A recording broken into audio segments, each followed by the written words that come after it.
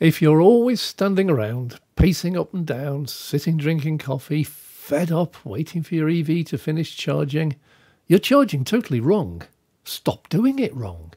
Dave Takes It On will show you how to dramatically reduce your charging time and get you to your destination much, much quicker. This method will save you many hours on a single long road trip. Well, recently, in response to a subscriber's comment, I told him it takes longer to charge from 20% to 90% than it does from 50% to 90%. And he told me I was wrong. He pointed out that in my video, Top 5 Charging Tips, was a link to that at the end of this video, I state you should not charge until your state of charge gets below 30%, preferably less than 20%, because it will charge faster. Surely it can't be faster and longer, he said, both of those statements cannot be true. But yes, both statements are 100% correct, and my subscriber admitted that he was totally confused. So let's find out how both those statements are correct and how you can dramatically reduce the time you have to wait while charging. Let me say right now, if you don't worry about sitting around waiting while your car charges, then switch the video off right here. Just arrive at any charger you want, at any state of charge it happens to have, plug it in, sit and wait till it reaches the limit that you've set, and then drive off. Life and EV charging can be really simple, but painfully slow. Most of us don't like waiting. Or maybe we're working, time is money, or on a road trip and actually can't stand or sit around for 40 minutes or longer while our car charges. For us, anything that cuts down the waiting time is important, possibly vital. Well, I think all EV owners know that when your state of charge is really low and you plug in, the rate at which it charges is really high. My Model S has a maximum charging rate of 150 kilowatts, and if I wait till my car is really empty, say way less than 5%, I can get 130, 140 kilowatts when I first plug in. But then that drops really quite quickly. Within a few minutes, it'll be down below 100 kilowatts. Then it tapers off until by the end, it's down to maybe 10 or 20 kilowatts, really slow. This is your charging curve. Your battery management system strictly controls the power it receives from the charger to protect your battery from overheating or serious damage. Every make of EV will have a slightly different shape, but all follow that same pattern. Now for this calculation, I'm going to use my car's actual figures. I have an 80 kilowatt hour usable battery, a maximum charge rate of 150 kilowatts, and my car gets 3 miles per kilowatt hour. By the way, a kilowatt relates to the power flowing, a kilowatt hour relates to the amount of power stored. So here is a very, very simplified charging graph for my car. With the battery at between 0 and 10% state of charge, the car can accept all the 150 kilowatts coming from the charger. Now, in real life, it never quite does, but in this case, let's say it does. As the battery fills, the rate drops. So now between 10 and 20%, it only takes 135 kilowatts, and so on. Between 50 and 60, it can only accept 75, and between 90 and 100%, it's slowed down dramatically to just 15 kilowatts. This is totally normal. All EVs do it, and there's almost nothing you can do to change it. But what does it tell us? Well, let's now look in detail at the first 10 kilowatt hours that go into the battery. To fill that first 10 kilowatt hours at 150 kilowatts takes 1 15th of an hour. That's four minutes. To fill the second 10 kilowatt from 10% to 20%, the rate of charge has dropped now to 135 kilowatts, so it takes a bit longer 4 minutes 26 seconds. Still really fast. But as we proceed, the rate drops and the time increases. From 40 to 50%, it now accepts only 90 kilowatts from the charger, so that takes a bit longer still, 6 minutes 42 seconds, until finally, between 90% and 100%, it takes an agonizing 40 minutes.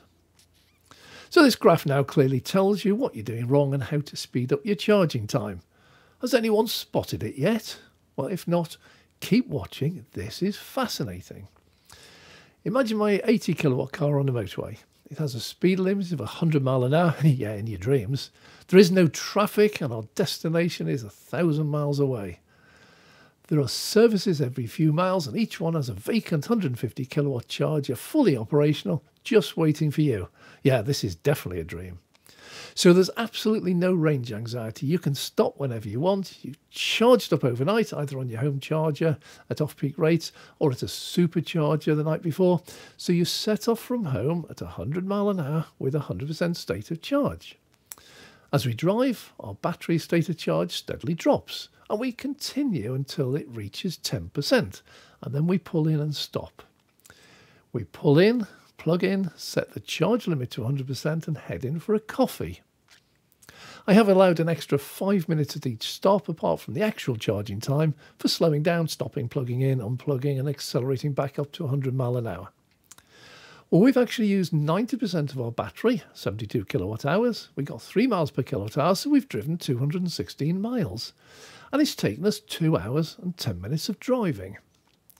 Using our charging curve graph, we know that when we plug in at 10% stated charge, we'll only get 135 kilowatts from the charger initially, and that will drop to 15 kilowatts by the time we reach the 90%. Adding up the times for each 10 kilowatt hours added, 4.5 minutes, 5, 5.7, etc., we find that the total charging time needed is just over 1 hour 54 minutes. Plus our 5 minutes slowing down, etc., round that up to 2 hours. Now that's plenty of time for a comfort break, full three course meal, and a decent snooze afterwards. This is exactly what most people do plug in, charge to 100% because they're on a road trip, then set off. Why? The next 216 miles is exactly the same, and the next, and the next. We need a total of four stops to reach our destination, and it will have taken us the grand total of 10 hours driving plus four stops of two hours each. That's 18 hours total journey time. Remember that figure. So now for something completely different. We're going to set off from home with the same 100% state of charge, drive at the same 100 mile an hour until we reach the same 10% state of charge, 2 hours 10 minutes, exactly the same as before. But this time when we stop, we will set the charging limit to only 50%.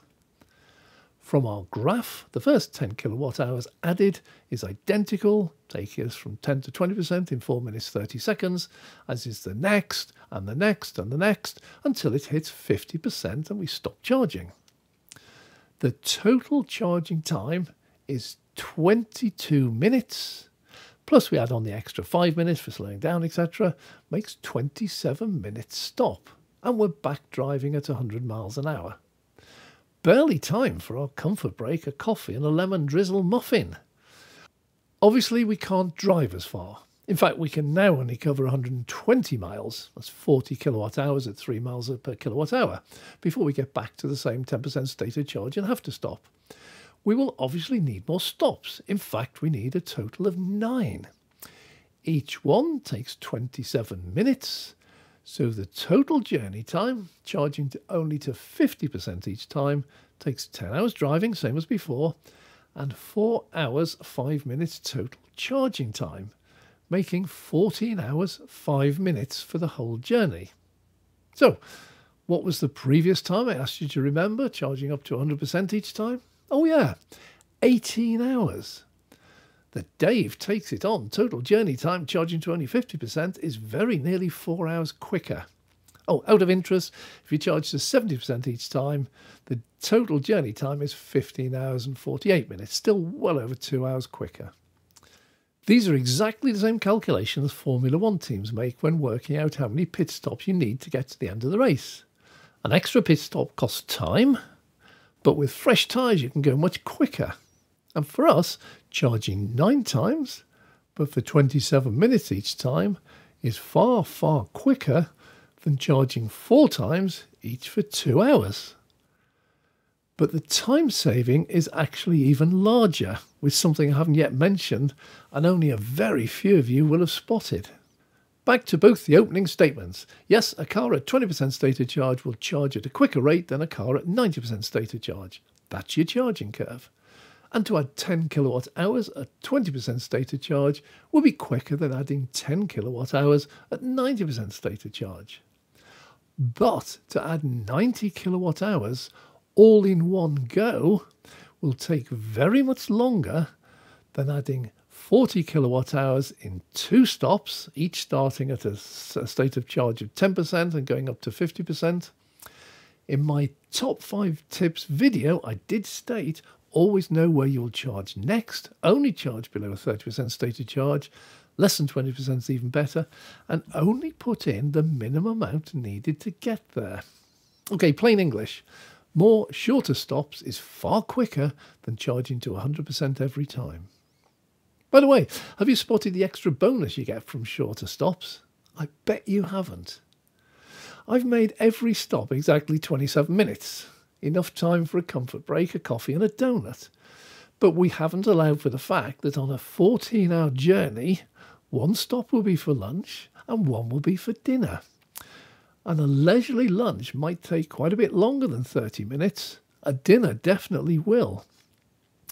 At these two stops, and these only, we reset the charge limit to 80% and leave the car plugged in until we finish. That extra few minutes charging, where we are not waiting for the car, we're still eating, it's waiting for us, will remove at least one entire stop, possibly even two on our journey. A road trip should be fun. Take your time, make more quicker stops. A business trip should aim to reduce charging time to a minimum, make even more stops. I'd rather get to my destination, work or leisure, three or four hours earlier than spend those exact same three or four hours sitting in a motorway services waiting for my car to finish charging. But I bet 90% of EV drivers on a road trip will still charge to 100% every stop moan about how long its charging takes and think that's the fastest way of doing it. Strange. Well, thanks for watching. I hope you found this informative. Please click the like button and subscribe. It really helps the channel bring you more content like this. I'm Dave.